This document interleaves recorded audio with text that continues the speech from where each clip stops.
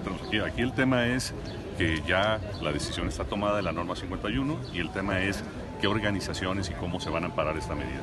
Que realmente una medida mal tomada y que la IP se pronuncia porque pues el Poder Judicial ojalá nos respalde y pueda parar esto y contribuir a la salud de un México que todos queremos también, pero no de una manera impuesta como fuimos este, sometidos, digamos, con la norma 51, que estamos en total desacuerdo. ¿Hay del presidente para que esto se pudiera aplazar o modificar de algún modo? ¿Ya no es posible en, desde el Ejecutivo? En todo el proceso hubo apertura y por instrucciones de él se hizo la mesa del diálogo.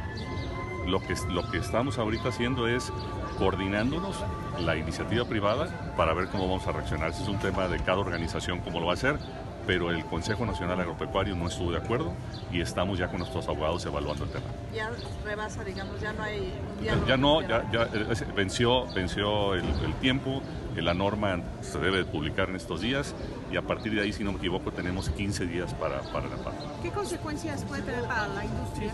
Pues mire, es un, ataque, es un ataque para la industria donde realmente eh, no nos va a permitir reformular, este, el cambio de porciones tampoco. ¿Qué vamos a hacer? Se van a satanizar los alimentos y los alimentos procesados por las industrias que compran en el campo pues ahora van a tener muchas etiquetas y la gente va a comprar alimentos que no tienen etiquetas como los alimentos que se venden en la calle, como los alimentos que, que no tienen controles de sanidad e inocuidad. Entonces es un ataque para la industria